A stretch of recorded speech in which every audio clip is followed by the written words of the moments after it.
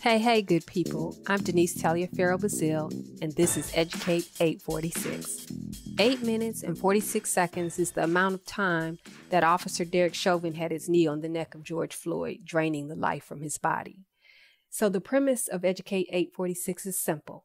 What can we teach and learn that can support the struggle against white supremacy and anti blackness in all intersystemic injustices in 8 minutes and 46 seconds? Today on Educate 846, I want to open with a couple of questions for you. Can you remember the first time you registered racial difference? Can you remember what you thought and how you felt? If we stop and ponder, we can all call up such a moment because in our society, having no race is like having no gender.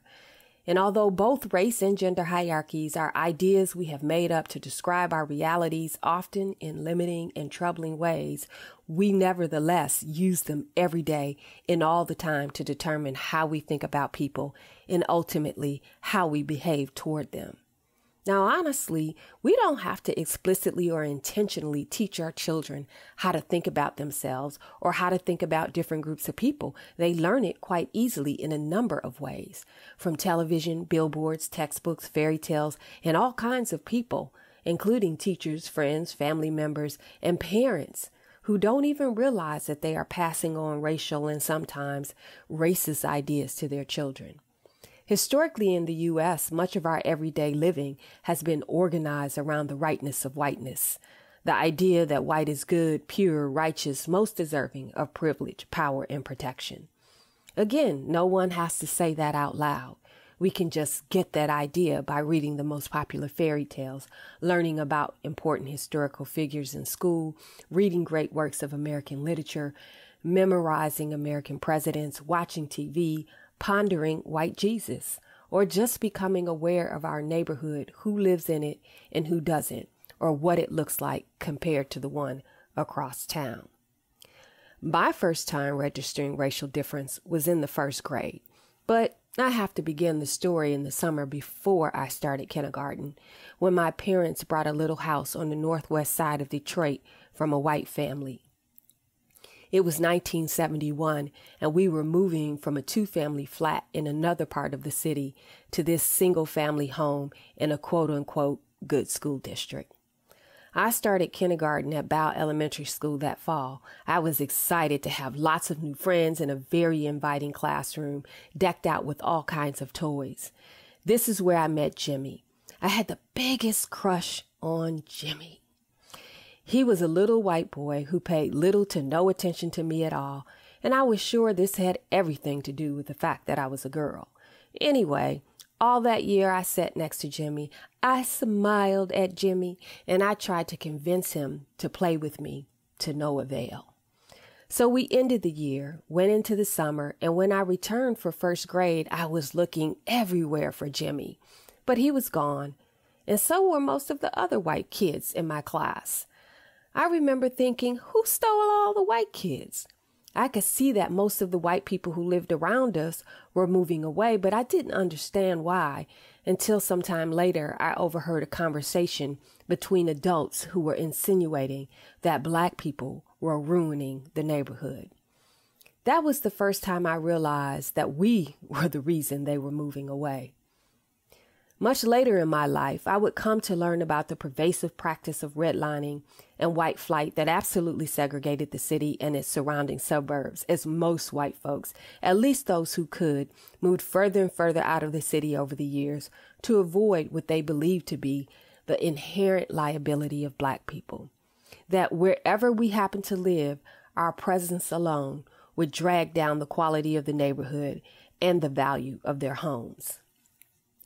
Did these white folks think of themselves as racist? Probably not. Just hardworking families who wanted to live in good, safe neighborhoods where they would preserve their property values. And I assure you, just like the white folks moving out, the working class and lower middle class black folks moving in wanted the same thing good, safe neighborhoods where they could reap the benefits of home ownership. The problem with all this, however, is that good, safe, and strong property values were all code for whiteness, for protecting the privileges and the power of whiteness. And the overwhelming insinuation that lingered in the back of my six year old mind was the absolute association of blackness with bad, unsafe, and the thing that was dirtying up the neighborhood. Perhaps in my next series, we can actually chat about what happens in Detroit over the next decades, how this fabricated narrative of blackness bears rotten fruit and generates profound racial injustice and inequity. But for now, the crux of today's lesson is to recognize that white supremacy works not only at the deepest levels of our individual subconscious minds, but also at the deepest level of our society's substructure. So even if the only people who actually professed a resounding and explicit belief in the superiority of white people were some white men of the 17th and 18th century, the truth is, is that we are still right now today strung up by the fact that they baked this idea into our systems, institutions, laws, practices, and in many cases, our hearts and minds. In this way, we find ourselves in a vicious cycle where our beliefs and consequential actions work to uphold racial systems and institutions, and those same systems and institutions discipline our beliefs and our behavior. This makes white supremacy as American as apple pie and not so easily contained, disregarded, or undone. This is why I refer to it as a logic and more specifically, even as a pathologic, because it's not simply a belief negotiated by individuals, but a logic by which our society is fundamentally organized. White supremacy no longer derives its power from an explicit social acceptableness. Instead, its power lies in the ways in which it has simply wedded itself, almost imperceptibly, to that which is considered neutral, normal, safe, and reasonable. So much so that even when we dispel our laws of racist language and ideas, we so often still manage to leverage them in racist ways, in ways that again protect and value whiteness and disparage to different degrees and in different ways all others. White supremacy and its discourse of race is not a simple flaw in our otherwise great democracy. Unfortunately, it's the normal state of affairs unless and until we actively, consciously, and with great conviction learn otherwise. If you're interested in heading in this direction, a good place to start is by checking out the new PBS animated musical series, The History of White People in America. Now, having said all of this, we should be very cautious of associating white supremacy only with white people. As an organizing logic, it shapes how we all think about ourselves and about each other. So in the next episode, I will highlight how different groups of people have wrestled with the adverse impact of white supremacy on their habits of mind, behaviors, and life circumstances.